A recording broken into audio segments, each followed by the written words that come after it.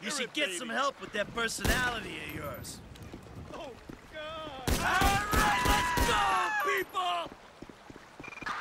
Citizens report at 245 on Carson Avenue.